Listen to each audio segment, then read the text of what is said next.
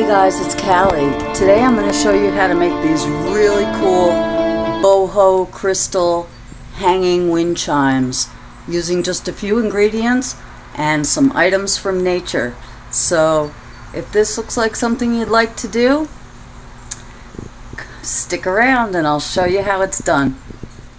Okay guys, I'm going to show you what we're going to need for today's project.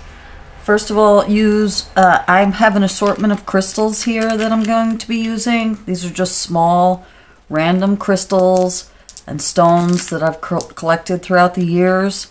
Um, you can go outside and find rocks in nature. You can use seashells. You could use stones from the Dollar Tree. Um, anything that sparks your imagination. So I'm going to be using these.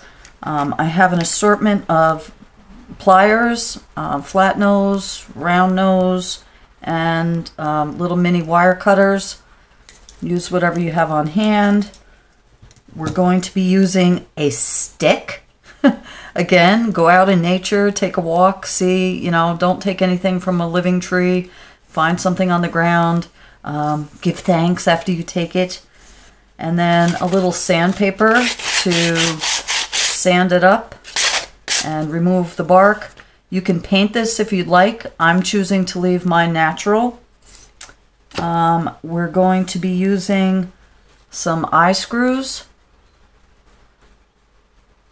And I have some jute twine um, or any kind of cording that we're going to use to hang the stick. Um, I have some silver wire here. Um, you can use the wire of your choice. Um, you want a little bit of a stronger gauge. You don't want it too flimsy. And various charms of your choice. And I'm not sure what I'm going to use yet, but I just have some assorted charms um, that I've gotten from the auction or my travels. So charms of your choice. And that's it for supplies. I'll be back in a second to show you how we're going to wrap these. Okay guys, now I'm going to show you how I wrap a crystal. Um, the fun part about this project is that there's really no right way to do it. Um, the way that it turns out so cool looking is that it's organic. So kind of do your own thing and honestly, I don't know. I couldn't tell you what I do, so I'm going to show you. I like to keep my wire attached to the spool until I cut it. Um, so I'm going to leave a little bit of a piece here and I'm going to pick a random crystal. How about this one?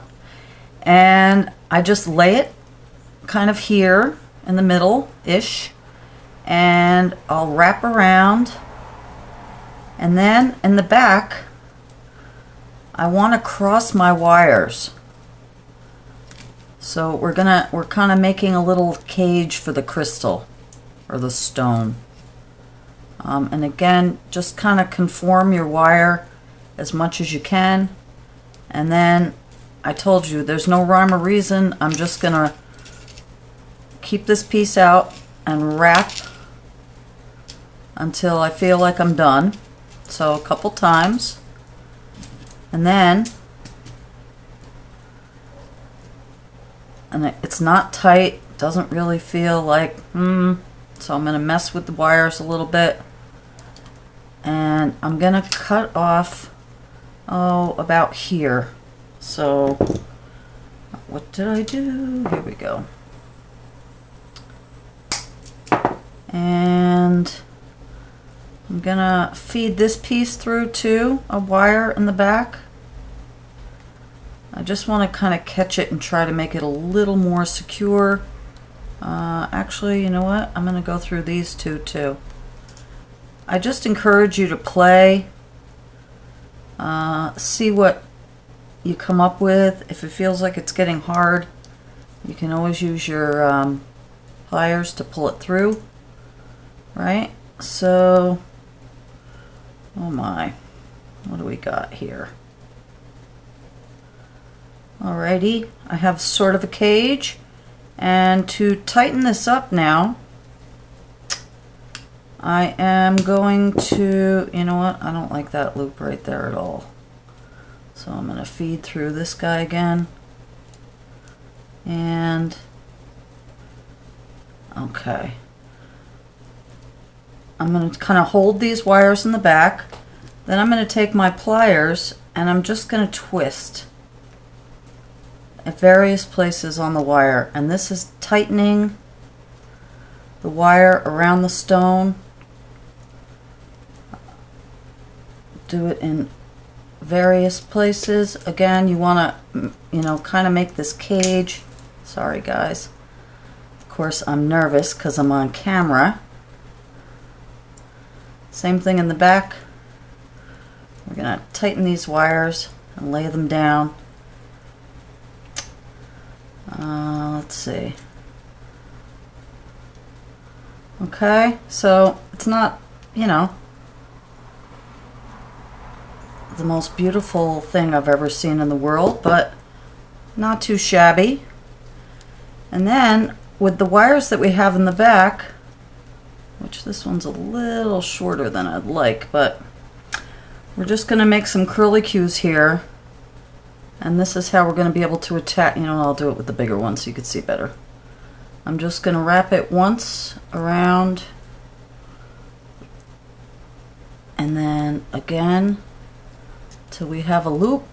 See that? I hope you're seeing. Then I'm going to take my flat nose pliers and not pinch it too hard but just kind of hold it and turn it and turn it and turn it and turn it until we have this little loop on the bottom. And then I'm going to do the same thing on the top.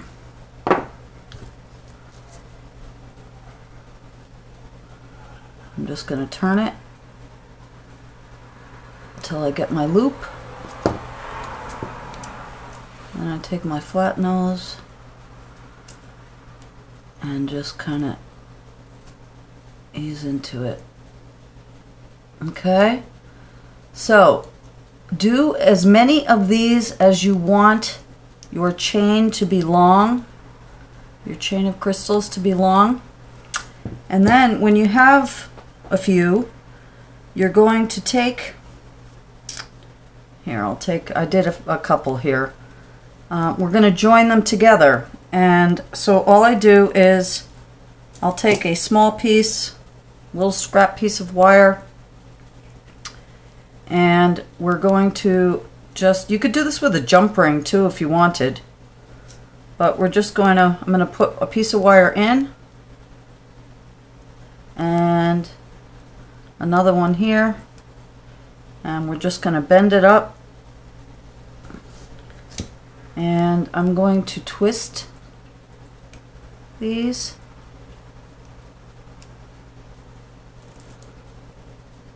a few times and then I'm gonna just cut off these little ends and watch your eyes I'll be vacuuming later and I'm just gonna push these two sharp ends together and then we have two joined crystals. And here's another two. And I'm just going to keep continue adding these uh, in a line. And again, I'm not really sure how many I'm going to do. And you can adjust the wire. Like I'm not liking how that's looking. So I would say I'm probably going to do maybe six or seven, but we'll see. So I'm going to continue joining these together and then we'll come back here and I'll show you how we're going to attach them to the stick, okay? See you in a minute. Okay guys, now I'm going to show you where we're at and how we're going to finish this up.